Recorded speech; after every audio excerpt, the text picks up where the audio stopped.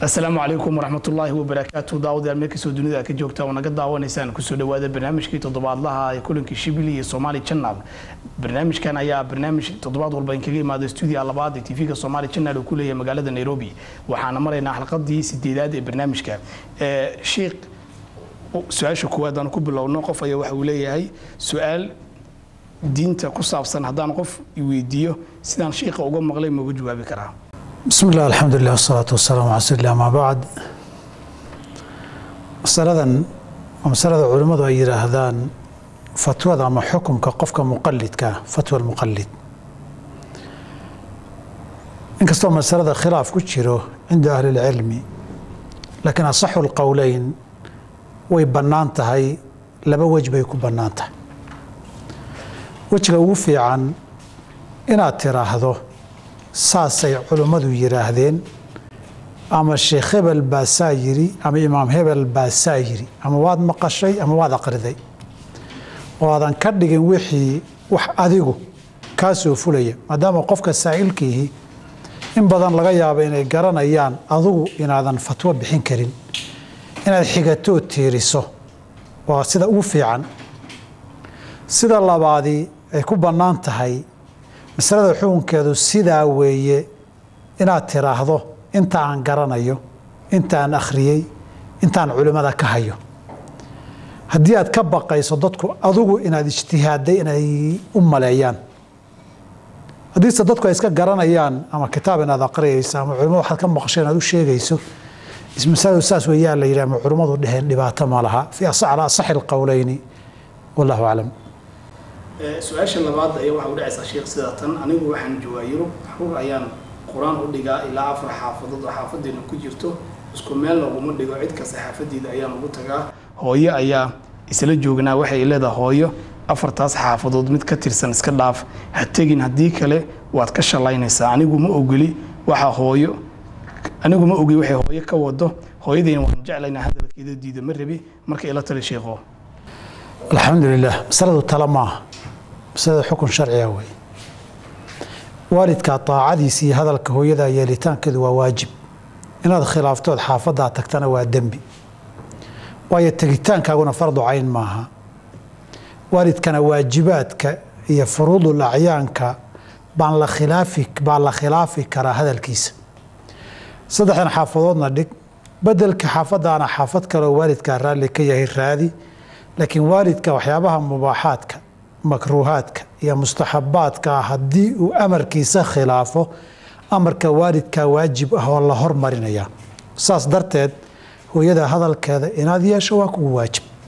Inaad diidana waa dembi iyo xaraam. Wabilahi towfiiq sheikh qof kale ayaa waxa uu leeyahay asalaamu calaykum waraxmatullaahi wabarakaatu magacaygu waa mursal cali waxaan joogaa muqdisho. Waxaa dhacda in in badan gaar ahaan goobaha xafladaha in la qaado heesta calanka. Marka la garaacayo muusikada calanka waxaa la sameeyaa dadkao dhan kor ayay u istaagaan marka shiiku maxay diinta ka qabtaa. Alxamdu waa laba masalo. Masalada heesta calanka. In calamka hees loo qaado ama salaanta la yidhahdo taxiyatulcalamka la yidhaahdo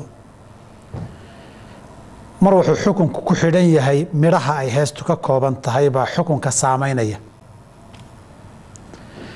dee midhahay ka kooban tahay wax min jinsi lmubaaxaad ahba? Ma wax qaybihii muxaramaadka ahaaba ma mukafiraadkii iyo shirkiyaadkii diinta looga baxayeyba?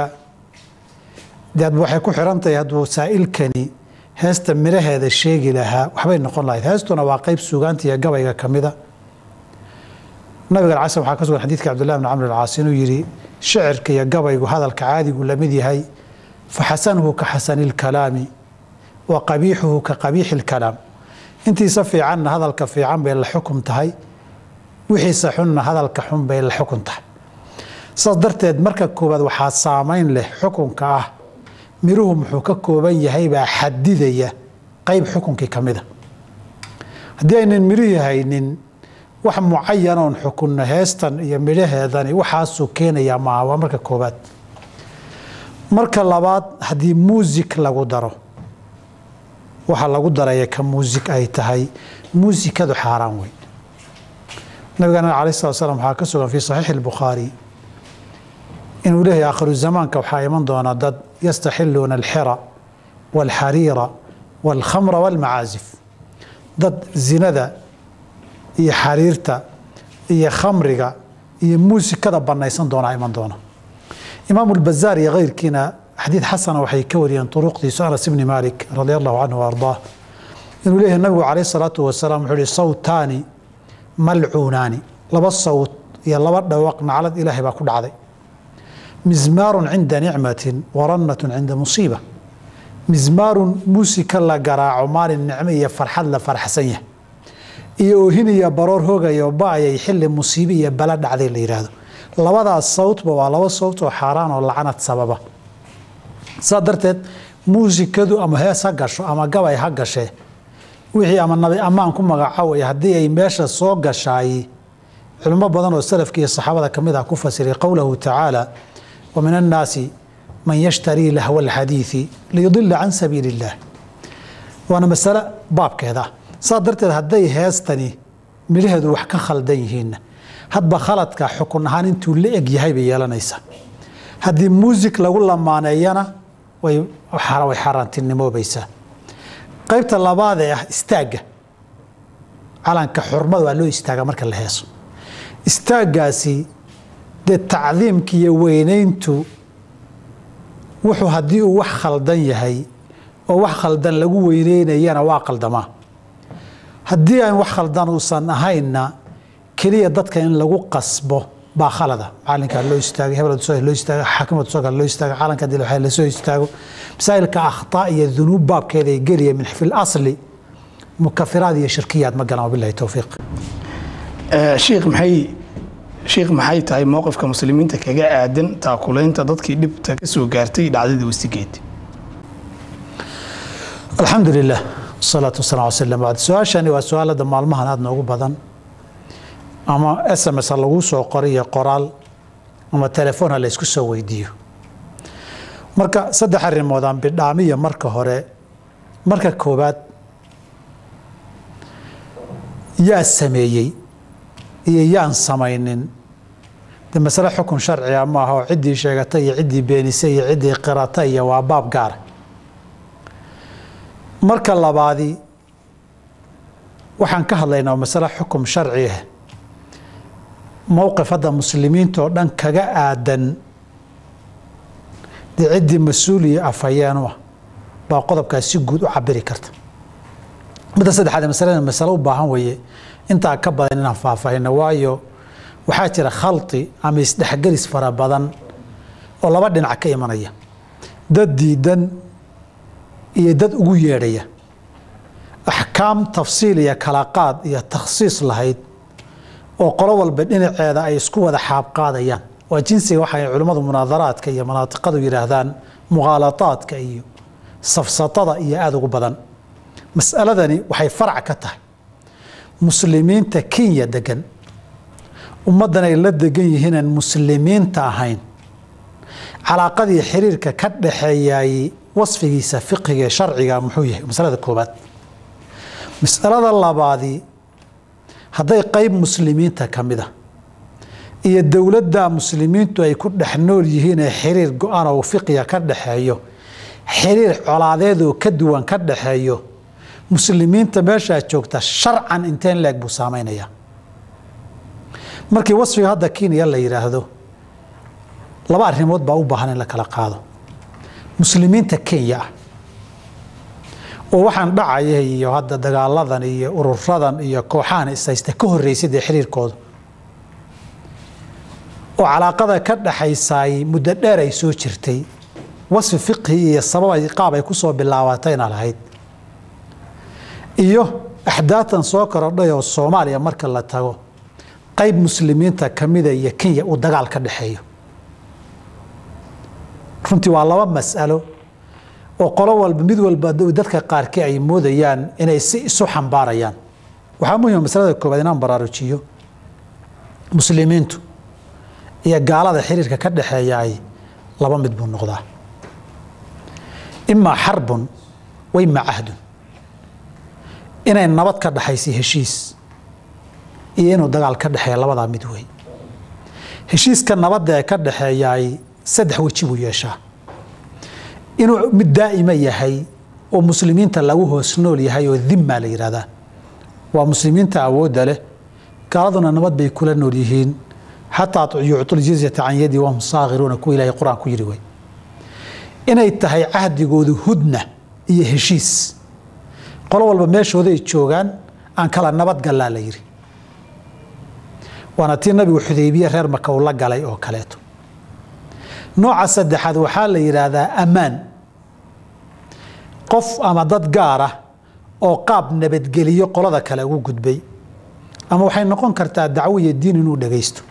Wain axadu min almushrikiina istajaaraka faajiruu xataa yasmaca kalaam allahi baa ka mida waxaa ka mida inuu wafdi la diray yahay ama rusul yahay oo nabigu yihi cala salatu salaam lowlaa ana arusula laa tuqtal.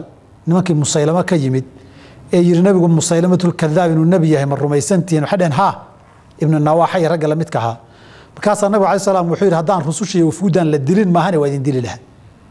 Marka gaalka wafdiga ka yimid ee muslimiintii colka lahaa wafdiga iyo ergadan laysu soo diray lama dilo. Waxaa ka mid a tujaarta mise xadiidka jaabir oo turuq dhowra can abi zubayr lagaga wariyey. Uu leeyahay waxaana laga reebay can qatli tujaari lmushrikiina ganacsatada dadka u yimid nooc ammaan ay curfiga lahaan jireen. Qaabab saas oo kaleeta ama qof muslimiinta ammaan siiyey sidii umuhani markii maka la furtay dadka qaar ay ammaan siisay walaalkeed cali intuu yidhi waan dilaya cali bin abi aalib oo nabiga ay u dacwootay oo yidhi ajarnaa man ajarti yaa umahaniin oo nabigu dimada muslimiintu ammaankay qaadaan waa isku mid yasca bidimatihim adnaahum uu yidhi.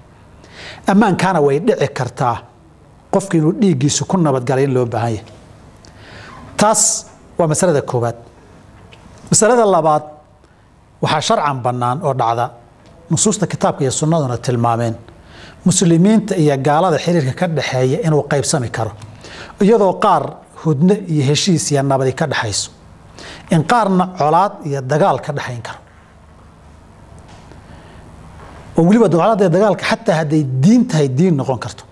Amaa kitaabka ilaahay ilahi subxana wataala sooma dhihin qur'aankiisa wain istansaruukum fi ddiini facalaykum الnasr ilaa calىa qowmi baynakum wa baynahum hadday dad muslimiin iyo gaalo isaya muslimiintu gargaar iyo gurmad diineed idinka dalbaan u gurmada inay tahay qolada ishayaan qolo heshiis nabad idinka dhexeeya maahane oo dee qolada ishayaan muslimiinta heshiis nabad idinka dhexeeyo diin xataa uguma gurman kartaan ilaa calىa qowmin baynakum wa baynahum halkaa waxaa ka garanaysaa iyadoo gaalada dad muslimiina dagaal weliba diineed isku hayaan.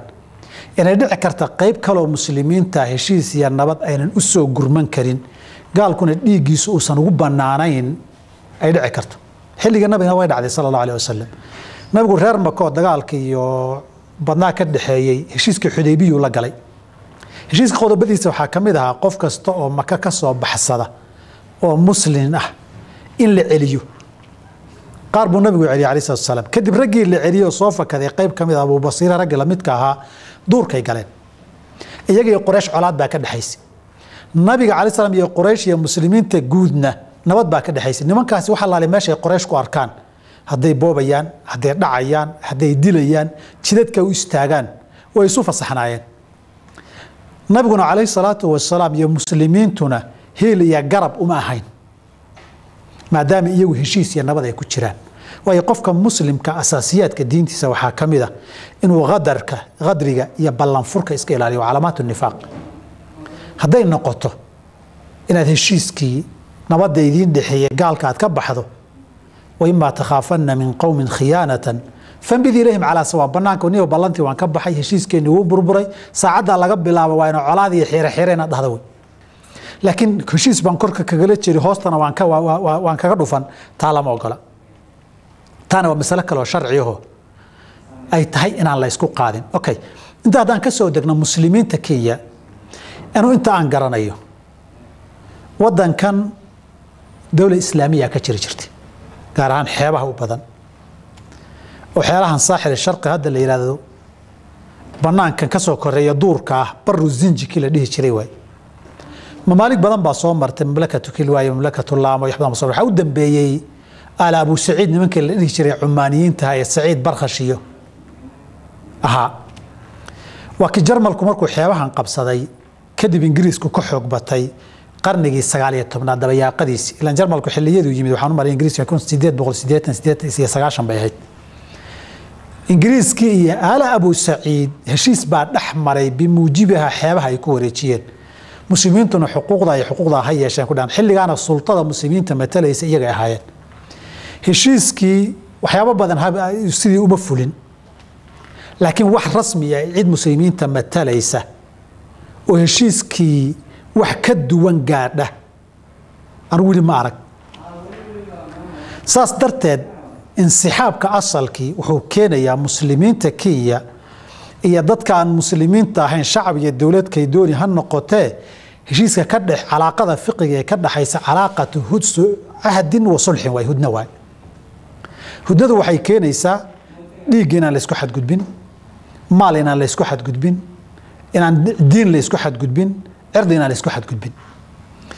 Taas waxaa ka duwan calaaqada kenya iyo ka dhaxayn karta urur muslimiinuhu ay dagaalamayaan. Iyagan calaaqatu xarbin iyo dagaal weeye fiqiga sharciga dee fiq wixii dil iyo wixii ama xoola kala qaadasha ama hanimo ku magacow ama dagaalana. Waa fiqi sharci iyagana calaaqo gaara wey waa tii abubasiire iyo reer quraysh ka dhexayn jirtay oon saamayn ku lahayn tii nabiga iyo quraysh ka dhexayn jirtay. Muslimiintu waxay noqonayaan haddaynan sulto iyo cid mathashiya cahdigii aan jebina ayna ku heshiinin ilaa calaa qowmin baynakum wa baynahum miithaaqun bay tegayaan saas darteed waxaa dadka ishkaalka jira wuxuu yahay kii cahdiga yahuudnada ku jirayna wax walba inuu isaga tiisa ku camimo wax walba xukunkaa la wada siiyo camimaya kii isagu xaalatu xarbin kula jirayna wuxuu camimayaa xaalatu xarbin in lagu wada jira dadko dhan. Waana lahaatay. Culimmada qaar yidhaahdaan culimmadii mashaayikhda waxay nooga sheegi jireen anuma meelay ku qoran tahay. Alxaafid ibn xajar raximah allahu tacala nin xakiim ahaa inuu dhihi inuu yidhi aafatu lcilmi aliطlaaqu fii mowdici altaqyiid wاltacmiimu fii mowdici takhsiis cilmiga waxaa beledu ka raacdaa oo si xun u khaldamaa meel la kala saari lahaa markaa isku wada qaado. Oo hal meel xukunkeeda waa maris. Marsaa darteed muslimiinta takyiifkooda qaybtii dagaal ku jirtana calaaqadoodu waa calaaqatu xarbin qaybtii cahdi iyo hudno iyo heshiis ku jirtana calaaqatu cahdin wa hudnatin wey. Ayib intaa waxaa sii dheer marka. Calaaqada labada xarbiga ka dhaxaysaay de waa colaa dagaal. Labada kale cumuumka qowluhu bay tegi cinda ahli lcilmi mufasiriinta o dhan akhri laa yanhaakum allahu can aladiina lam yuqaatiluukum fi اddiini walam yukhrijuukum min diyaarikum an tabaruuhum watuqsituu ilayhim wixii biri iyo ixsaan iyo cadaalad ah dembi maaha la iskamana reebin aayaddan sida bukhaari warinayaan sufyaan bnu cuyeyna wuxuu leeyahay waxay ku soo degtay asmaa binta abi bakr hooyadeed mushrikad reer quraysh ahayd xilligii heshiiskay timid iyadoo wax ka doonaysa asmaa nabiga weydiiso hooyadii way ii timid wahiya mushrikatun wahiya raagibatun waxbayna iga doonaysaa nabig wuxuu shiri ummaka hooyadaa xiriiri waxsii waayo xilliga cahdi iyo hudna lagu jiraa haddii cahdi iyo hudniyo heshiis lagu jira in laysku xadgudba lama ogola xataa qofkii aad disho xaaladaas waad magdhabi caamiriyiintiisu nabigu magtooda u bixiyay sal alla alih ali wasalam ayib intaa marka laga soo gudbo ciddii calaaqadoodu ay xarbi ahaydna xarbi baa ka dhexeeya fiqiga sharciga ah ciddii calaaqadoodu silmi iyo cahdi iyo nabad ay ahaydna nabadii iyo silmigii iyo cahdigii baa ka dhexeeya marka laba isku heli maayaan muslimiintu. In halkan aan joognaa waan degannahay nabad baa naga dhaxaysa ilmahayagii reerkayagii maalkayagii dhiiggayagii diintayadii aan nabad gallo. Ay weji ka noqoto weji kalena col baa naga dhexeeyo annaga waa noo bannaan ay gasho. Ma lahayn. Ayib laba arrimood aan ku baraarujiya marka intaa kadib.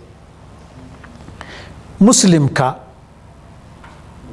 xaaladda dagaalka ku jira laba arrimood oo halata inuu gala sharci ama bannaana qaybta muslimiinta mana hadda qadiyaddu tusaaluhu kenyun baa lagu soo qaatay meelo badan bay ka dhacaysa ila muslimiintu. Waxaan ka hadlaynaa waa muslim. Soomaali ha noqdo hindi ha noqdo carab ha noqdo baajuun ha noqdo afrikaan kale ha noqdo cidduu dooni ha noqdo. Axkaamta fiqigana soomaali iyo carab iyo baajuun ma kala qaadee muslim oo dhan bay saamaysaa. Laba arrimood haddaba ninkay xaaladiisu silmi tahay qadarka iyo ballanfurka iska ilaaliyo ninkay xaaladiisu xarbi tahayna laba arrimood ha iska ilaaliyo. Waa midda koobaade cidda uu og yahay ama xukunkeedu sharciga yahay cahdi iyo hudno inay ku jirto. Cahdiga iyo hudnada buriya oo qadri iyo khiyaano sameeya inuu ugu yeedho dacwa ila almacsiya wey ma banaana masalada waxaa aada uga hadlay nin la yidhaahdo ragga reer suuriya hadda dagaal kaga jira ka mid a.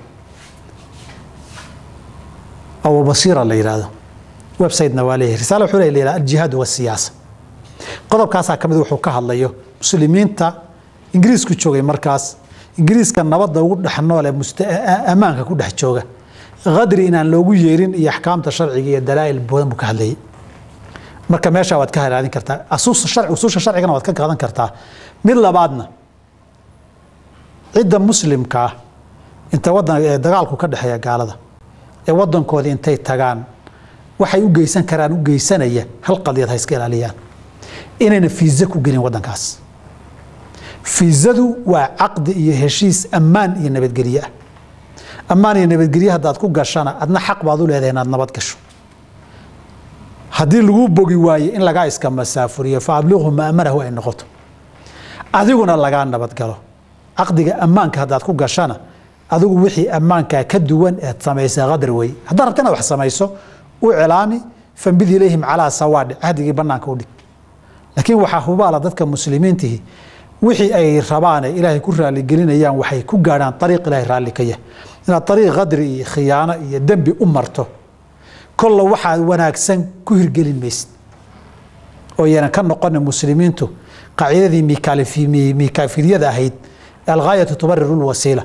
Anu wax fiican baan u socdaa wax kasta oo xaaraanan u mari hadday kaa noqoto dee qofkii ridaha ilahay markuu gaadhayo waxa u socotee wanaagsan waxba ariiq xalaaloo wanaagsan aad u martaa lagaa rabaa. Wabilahi towfiiq sheikh su'aasha kale ayaa waxa u dhacaysaa sida tan maxay diinta ka qabtaa in wadaadada loogu yeero oo ay loogu yeero in ay qur'aan ku akhriyaan guryaha iyo dadka degan kadibna cunto loo sameeyo haddana lacag loogu daro. Sheikh bal si cad noogu beyaani waxay diinta ka qabto iyo daliilka arrinkaasi diidaya ama ogolaanaya alxamdu lilah horta noocan waa nooca bidaca idaafiga la yihahdo wey. Bidac waa laba qaybood. Bidac xaqiiqiya iyo bidac idaafiya. Bidcadaan meel laga soo xigtay lahayn. Xaqiiqiya la yihahdo dee toota asal ahaanba waa bidco bidca idaafiyana bidcan asal leh laakiin wax lagu dardaray baa la yihahda ama waqti baa lagu daray ama qadar baa lagu daray ama sifiya qaab baa lagu daray.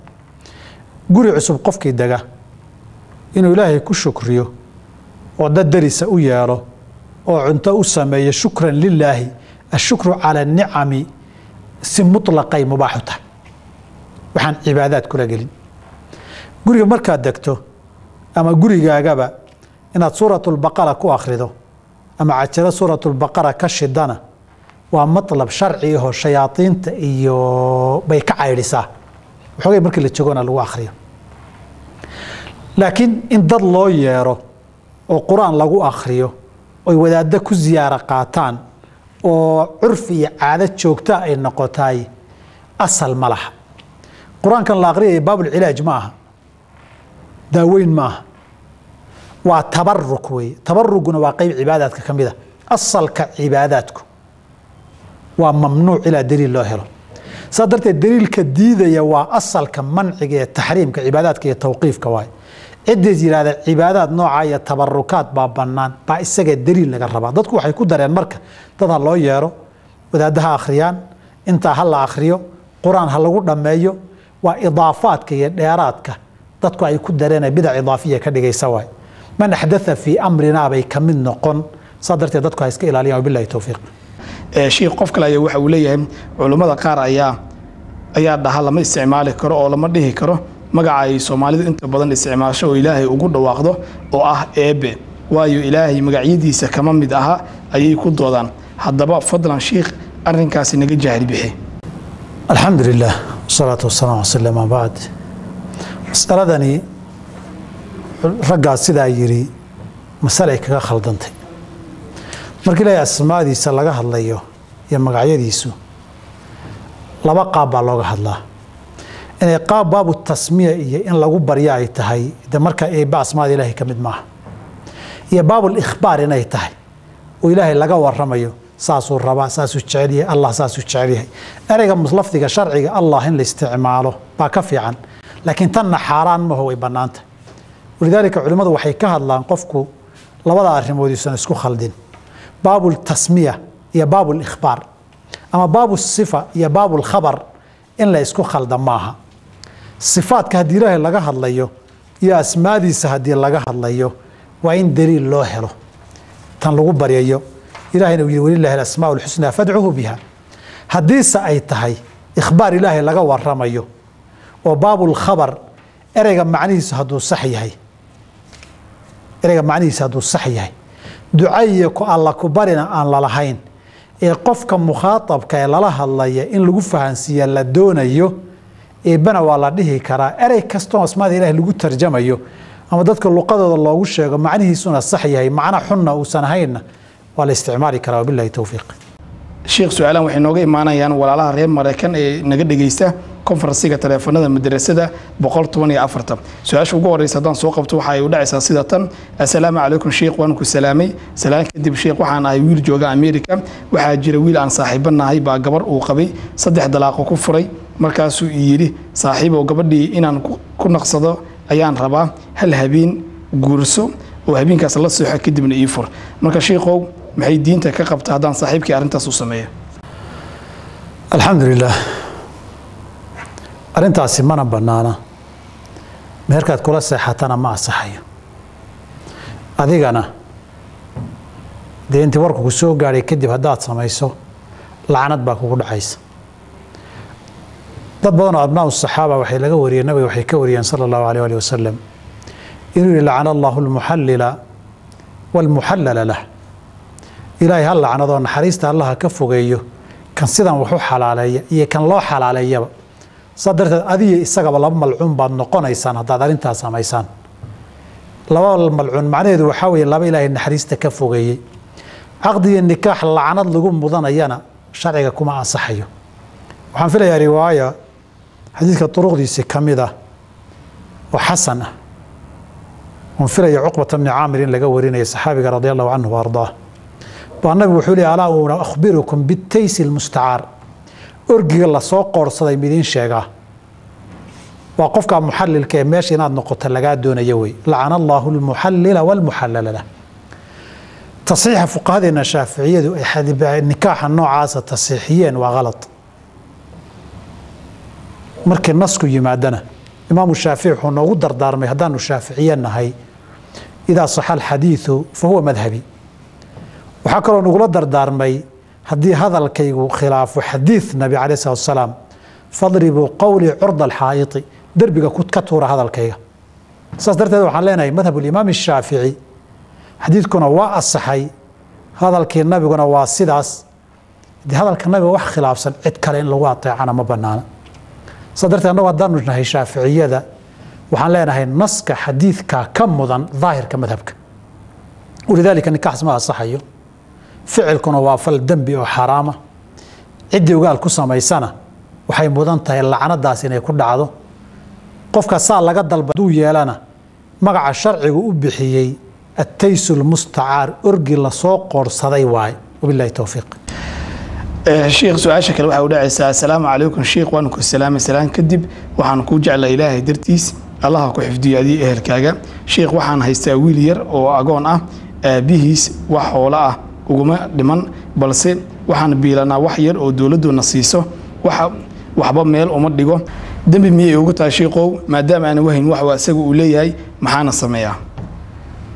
Alxamdu lilaah horta allah ku jeclaado wixii xaqiga khayrna allah nagu sugo su'aashu dee waxa laydin siiyo hadduu yahay wax adiga lagu siiyana adaa xaqa tasarufkeeda iskale waxaad dhigaya waxaadan dhigaynin hadduu yahay wax wadajir laydiin siiyana adi isagoo a isku leedihiin.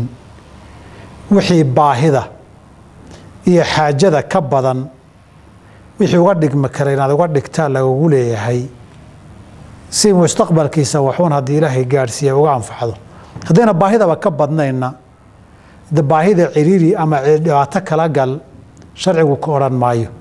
Saas darteed waxaynu leenahay waa laba qaybood haddii xoolahan adiga uun lagu siinayo hooyada la siinayo in isaga waxba la siinaynin dee xoolahadaa iskale waxaad dhigatay iyo waxaad cuntay iyo waxaad isticmaashay iyo wixii kuusoo harhaba haddii aad isku leedihiinna sadba boqoley intaad u kala yeelan kartaan baahida iyo biilasha iyo duruufta daruuriga wixii ka soo hadha inaad wax meel uga dhigtaa way fiican tahay.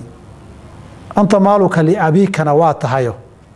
Dee waalidku xoolaha ilmihiisa wuxuu ka maarmi waayo wuu isticmaali karaa wabilahi towfiiq qof kale waxa uu leeyahay sheekh waxaa laygu sheekh waxaa laygu lahaa deen qofkii deenta igu lahaana waxaan ku heshiinay inaan u yaryareeyo kadib qofkii deenta igu lahaa aan wax kale isku dagaalnay. Markaasi deentii hore waa igu lahayd igula dagaashay anigu hayn. Markii dadka nagu soo baxeen waxay tiri lacagtaydii ha i siiso ama waan u cafinayaa maanta ima dhaafto. Anigana waxaan idhi ma hayo. Maantay maanta lacagtaadi ma hayo. Si caro leh ayay lacagtii iigu cafisay maalin kastana waan ka walwalaa shiiqow maxaa igu waajib ah inaan sameeyo? Alxamdu lilah masaladan waa laba qaybood baynu ka dhigaynaa. Daahirka xukumka sharcigii haddee qofkaasi markay caraysnayd dee qof xisigeeda iyo garashadeedu jooga ay ahayd dee xoolahii cafiday wuu dhacayaa tasarufaadka qofka noocaasana way fulayaan iyadu ma mutaalabayn karto oo ma dalban karto haddii markhaati iyo caddayn loo helo cafiskaas adigana daahirka sharciga xoolahaasaa lagugu leeyahay oo kugu xukuman laguma dhihi karo. Taasi waa qaybta asaaska ah. Laakiin waxaan ku talin lahaa qaybta labaada. Qofku can tiibi nafsin ma ahayn sida muuqata hadalkaad u dhigtay. Qof niye iyo qalbi aan raalli ka ah ma ahayn. Xoolaha inuu ku cafiyo. Haddii aad wixii qofkii u celin karto ood dhihi karta xilli xaaladdu degan tahay walaalay waatan ama wixii waa waa kuu ficnaan lahayd adigana walwalka iyo walbaharkaad kaga bixi lahayd. Wixii shubha iyo soo geli lahaana ixtiyaadku saasuu ku fiican yahay. Waxaan ku talin lahaa qofkii la xidhiidh wixiina kala hadal. Hadduu yidhaahda saasaan raalli ku ahayna dee waa sidaas. Haddii kalena daahirka sharciga mutaalaba iyo qabsi kuguma laha laakiin aad wax isaga celisood iska raalligelisaaye qalbiga muslimiinta mucaamaladooda adduunkana way ku fiican tahay. Aakhirana shubha iyo wax kaa soo geli lahaa. Inaad kaga badbaadaysaan rajaynaya bilahi towfiiq shiikh qof kale wuxuunu leeyahay asalaamu calaykum shiikh gabar ayaa waxaa naga dhexeeyey xiriir gabadha aabaheed ma noola laakiin waxaa jooga hooyadeed iyo wiil la dhashay. Wiilka gabadha la dhashay wiil kale ayuu la rabaa laakiin hooyadeed gabadha aniga ayay ila rabtaa. Marka gabadhaas ma mehersan karaa shiiqow haddii hooyadeed ila rabto alxamdulilah maya. Hooyadu gabadha mana guurin karto mana bixin karto. Way fiicanta inay kula rabto. Way fiicantahay reer dhismaya waalidku inuu raalli ka yahay. Laakiin taa iyo waxaa kala duwan xaqa wilaayada. Hooyadeed baa i siisay iyo iyadu soo korsatay baa i siisay iyo walaasheed baa i siisay oo haysatay oo la joogtay iyo habaryarteeda oo i haysatay baa i siisay iyo waxaas oo dhan waxba kama jiro. Markay caqdi iyo meher noqoto haween shaqo kuma laha laa nikaaxa ilaa biwaliyin. Haweentu iyadu nafteeda ma guuriso mid kalena walaayadeeda ma haysan. Walaalkeed baa wilaayada haya. Qadaa sharci ah unbaad ku gacan dhaafi kartaa. Sidii kaleo dhan laa nikaaxa ilaa biwaliyin weeye. Walaalkeed iyada iyo hooyadeeda intaad u dirto si aad u raaligelin karta aad u qancin karto. Howl adiga kuu taala wey laakiin iskama gacan dhaafi karta bilahi towfiiq shiikh qof kale ayaa waxa uu leeyahay asalaamu calaykum sheikh dad waxaa jira kugu soo diraya message kuguna soo diraya facebook oo ku dhahaya ku salli nabigeena maxamed naxariisii nabadgelyo kolkiisa ha ahaatee ama ku soo dir ama kuu soo diraya s m s kale oo ku dhahaya u dir intaas oo qof. Haddii kale wax ayaa la kulmaysaa marka maxay diinta ka qabtaa? Alxamdulilah waa laba su'aalood. Qofka kuu soo diray ee nabiga ku sallay ku yihi sala allahu alيh ali wasalam waa qof khayr iyo dikri ku xasuusiyey ilaahayna qur'aanku bay nagu amro yaa ayuha aladiina aamanuu saluu calayhi wasalimuu tasliiman baa layidhi nabiguna waa amray inaan ku sallina sala alla alay qofkaasi haddaba hadduu nabiga ku salli ku yidhaahdo khayr buu ku xasuusiyey khayrka iyo wanaaggana ina dikraa tanfacu lmuminiina waa inaad nabiga ku sallida calayhi salatu wasalaam aadna ciddaad xasuusin karta xasuusisaa lagaga baahan yahay tan kale qofka wax khayr buu kuu diri karaa laakiin amarka ma laha xaq haddaad u dir haddaadan u dirin waxaasaa kugu dhacayana been wey inta haddaadan u dirin waxaan ka dhacaya qadarka ilaahay baa maamula hebel baad waraaq u dirtay iyo umaadan dirinna maqaadiirta ilaahay ma ma xukunto ma hagto. Fariintaasoo kale oo been ah ba waxaan garanayaa dee tan iyo dhowr iyo siddeetankii baan arki jirnayo waxaa soo diray la yidhahdaa nin qabriga nabiga khaadimka ahaan jiray. Markii taariikhdiisa la raacayna been oon jirinba intaasaana soo gaadhoona weligaana dirin wax balaayana maanan arag. Saa darteed fariinta noocaas hadday tahay taa tilmaamayso halkan wadankana ku ararkay iyadana waa been. Diritaankeeduna waa dembi. De been diritaankeedood been dad sii gaadhsiisay waa dembi. Kafaa bilmari iman an yuxadia bikulli maa samci baad geli. Dembi waxaa kugu filan waxaad sheegtaba. Inuu waxaad maqashaba inaad sii sheegto. Riwaayadka qaarkood kadiban been waxaa kugu filan waxaad maqashaba inaad sheegto saas darteed fidinteedu ma banaano wax kale hadday toon iyadu aynan xumayna. Amarna laguguma laha ilaa min baab alab iyo war dadka gaadhsii maahane. Waciidkan iyo handadaadan haddaadan samaynin saasaa kugu dhicina been way waxba kama jira. Bilahi towfiiq qof kale ayaa waxa uu leeyahay sheekh assalaamu calaykum. Magacaygu waa cabdirasaaq waxaan ku noolaa yurub. Dadka waddankani degan ayaa waxay iska aruuriyaan bil kasta lacag loogu talagalay. Qofkii dhinta in lagu duugo. Laakiin shuruud ayaa ku xiran oo ah waxaa lagu duugi karaa oo keliya qofkii wax ku darsada. Marka sheikhu lacagtaasi caymis mi ah. Alxamdu lilah nacam caymis wey. Laakiin caymis bannaan wey. Caymisku waa laba qaybood. Waxay culimadu yidhahan taamiin ijtimaaci mid bulsho oon hadafkiisu ribix iyo faa'iide ahayn.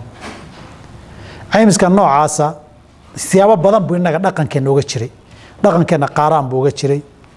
Dhaqankeenna wuxuu uga jiraa kaala waxa la yidhaha marka guursado oo nin walba ninka kale uu ka sugo hadda wuxuu uga jiraa wax la yidhahda ayuuto iyo shangole iyo muasasaadka iyo hay'adaha wuxuu ugu jiraa hay'ada dowladuhu ay maamulaan oo caafimaad oo dadka lagu ka caawiyo uga jiraa wuxuu uga jiraa sanduuqa shaqaalaha waxa laga gooyo loo celiyo uga jiraa tan qubuurtana dad mucayana oo baahi qubuur iyo aasitaan u baahan hadday kharash isku darsadaan inteena wixiina soo gaadha aan is-aasnana yidhaahdaan waa caymiska ijtimaaciga ee bannaan wey kan ganacsiga ee tijaariga ka hadlaan bilahi towfiiq sheikh su'aashan waa su'aashii ugu dambeysay. Su'aalihii dadweynaha inoo soo direen. Qof ayaa waxa uu leeyahay asalaamu calaykum.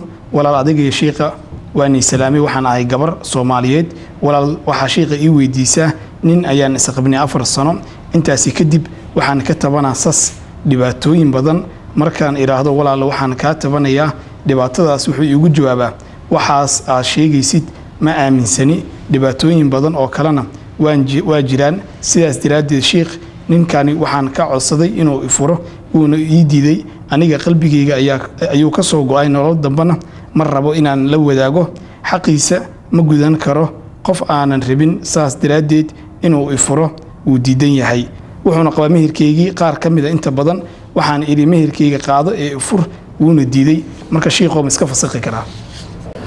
Alxamdu lilah horta masalada markay khilaafka qoyska timaado sharcigu ariiq loo maruu faray haddaad isfahmi weydaan fabcathuu xakama min ahlihi wa xakama min ahliha wey xigtada labada dhinac dad waxgalah talana goyn kara inay idin dhegaystaan duruuftaad kala tabanaysaan oo bal wixii dhiba in la xallin karo ama noloshiisa noloshiina laba soo dhammayn karo la soo afjari karo iyagu ay isku dayaan tallaabadaa haddii la waayo dadkuna ay kala tabanayaan waxa xigay waa maxkamad iyo qadaa inay tagto gabadhu waxay sheeganaysaa maxaa runa maxaan run ahayn cid iyaga ka baxsan oo xaqiijisay u baahan tahay. Waxay tabanaysaa hadba halkay gaadhsiisan yihiin bay xaqa fasakh inay leedahay iyo inaynan lahaynna kala caddayn karta. Saa darteed qadaayaadkan waa qadaaya waa masaa'il qadaa u baahane masaa'il fatwo u baahan maaha. Saa darteed gabadha waxaan leeyahay dariiqaaga sharciga ah masaladaada xalkeeda ah masaladaa xakamka inaad martaan wey hadday suuroobi weyday ama aada sooba marteen ay xallin weyday maxkamad iyo qado tag. Waxaad tabanaysa iyo xaaladaad maraysa u sheego iyagu hadday la xiriiri karaan ha xaqiijiyaan. Qudaaddaa sharciga yaqaana ee maxkamadda sharciga islaamkaa joogay hadday ku qancaan duruuftaada iyo xaaladaada inay fasakh xalkeedu yahay xaq baad u yeelanaya in lagu fasakho isagana wixii uu leeyahay la siiyo bilahi towfiiq daawadainta waxaan ku soo gabagabaynaynaa barnaamijkii kulanka shibil iyo somaali channel oo ah barnaamij toddobaadla oo toddobaad walba idinkaga imaada stuudiyaha labaad ee tv-ga somaali channel uu ku leeyahay magaalada nairobi. Barnaamijkan ayaa dadweynaha waxay su'aalo ku soo weydiiyaan shiiqeena weyn maxamuud maxamed shibili. Ee qof alaali qofkii doonaya shiiqu su'aal uu soo weydiiye wuxuu noogu soo hagaajin karaa. Ciwaankeena oo ah kulanka shibil ah somaali channel t v. Ama bejka aan ku leenahay facebook oo ah kulanka shibil iyo somaali channel. Dhanka farsamada toddobaad walba barnaamijkani waxaa inaga saacidaa. Farsamayaqaanka faraha fudud ee tv-ga somaali channel cabdiraxiin dabo tabintiina waa aniga oo ah faysal casiir maxamed. Intaan barnaamijkan barnaamijka xeega ku kulmi doono hadduu alla idmo waxaan kaga tegi doonaa dhammaantii nabadgeliyo aad baa mahadsanta sheekh